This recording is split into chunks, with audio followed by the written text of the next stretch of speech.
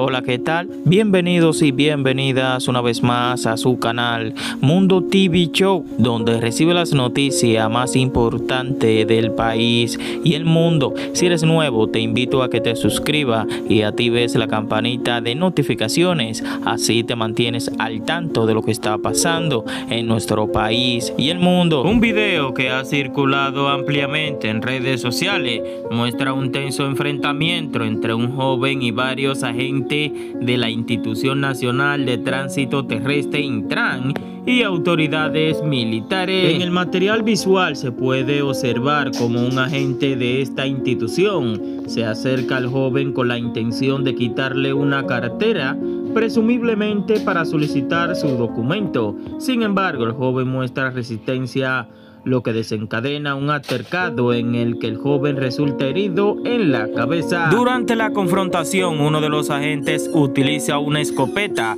para golpear al joven en la cabeza después de haber recibido un golpe en el rostro en respuesta a un primer ataque. Las imágenes han generado una fuerte reacción en la opinión pública con muchas personas condenando lo que considera un abuso de poder por parte de las autoridades. Hasta el momento no se ha logrado identificar el lugar exacto donde ocurrieron estos hechos, pero el video ha llevado a un llamado generalizado para una investigación exhaustiva y el transporte por parte de las autoridades pertinentes.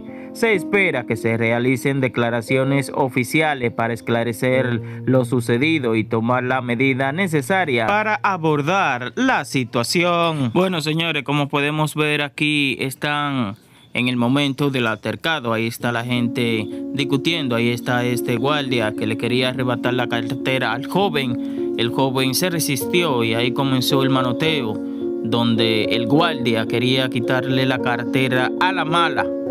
Como podemos ver aquí el forcejeo.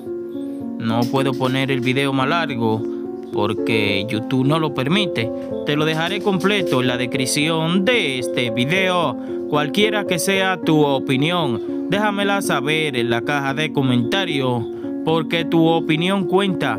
No olvides suscribirte y activar la campanita de notificaciones.